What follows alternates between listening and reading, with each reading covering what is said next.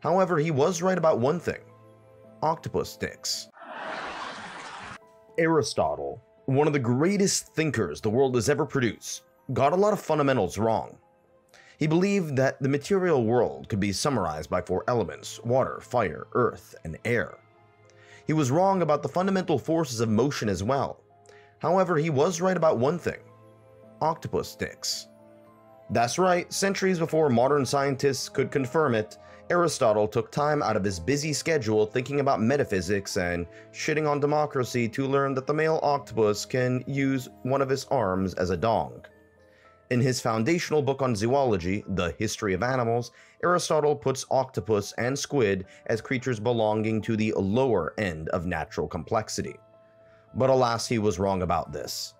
As it is widely known today, octopi, octopuses, octopodes, whatever the plural is, along with cuttlefish and to a lesser extent squid or squids, are some of the smartest creatures on the planet, with remarkable abilities when it comes to problem solving, dexterity, and camouflage and I'm still not fully convinced that they're from Earth either.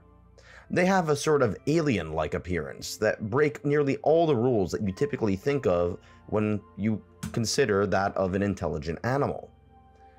They're not mammals or even vertebrates. They belong to the group cephalopods, or cephalopods. No fur, they don't have milk, they don't take part in raising their offspring, and oftentimes they even die after reproducing, and their life expectancy is only about 1 to 2 years.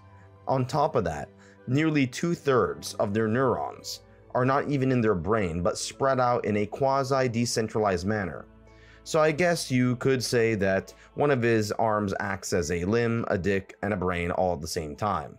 I told you it was weird.